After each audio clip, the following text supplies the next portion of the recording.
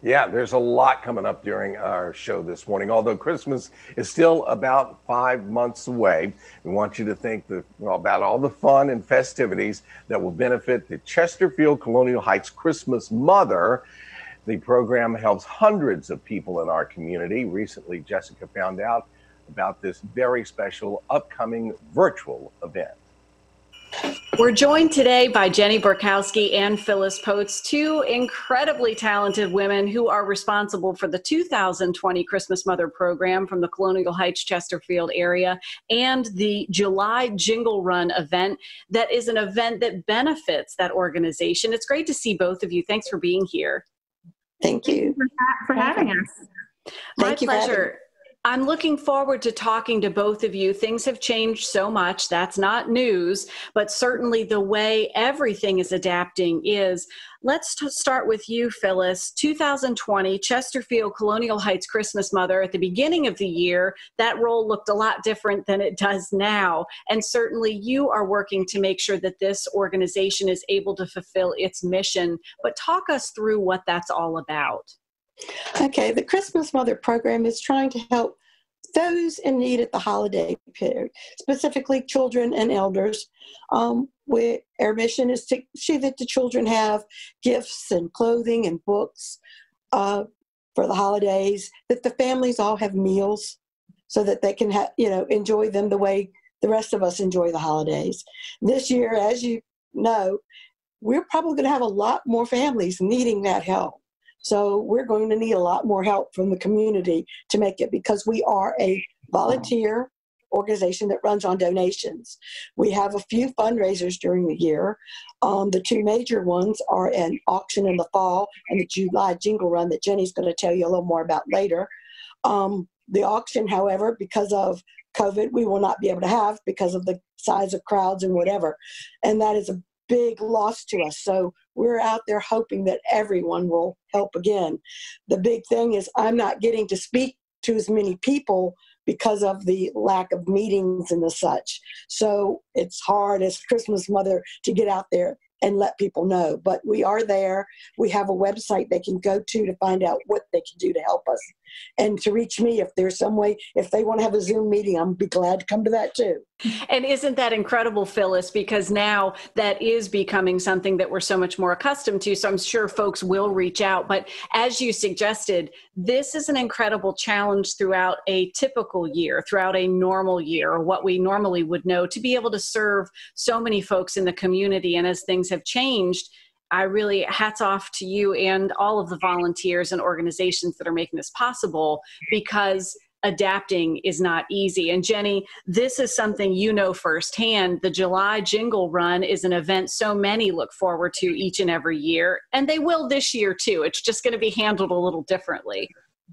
Yeah, we just had to switch things up a little bit this year just based on the restrictions and everything else going on. Um, so instead of being an in-person race this year, as it has been for the last couple years, um, we made this change to a virtual race.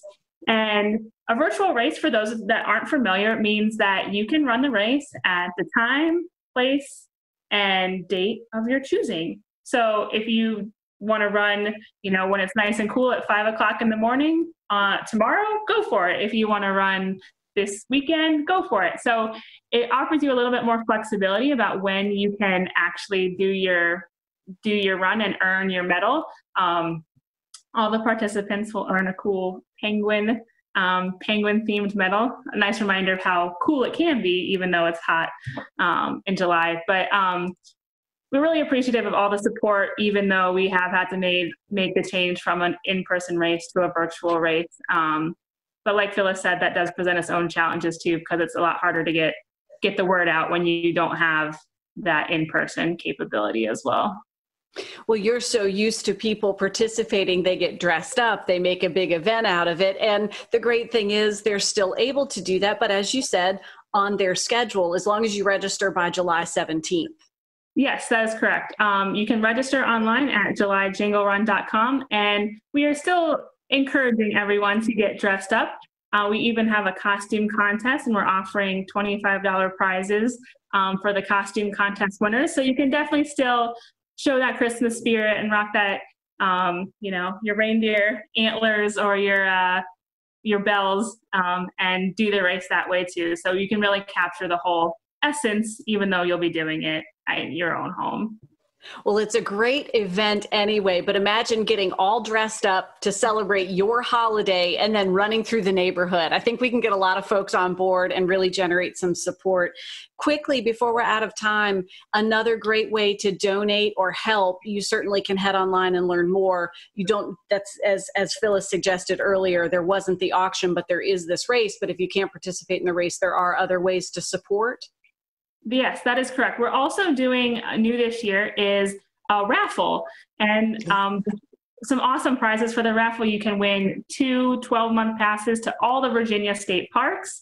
Um, you can win a Fitbit Versa, which is like a running a running watch, and you can earn a $150 gift card to Lucky Foot Run Shop or Lucky Road Run Shop. Sorry, um, and that's an awesome local supporter of our cause. So the prizes are really awesome. You can get one ticket for ten dollars or three for twenty-five, and all the information for um, the raffle and the race as well is all on JulyJingleRun.com.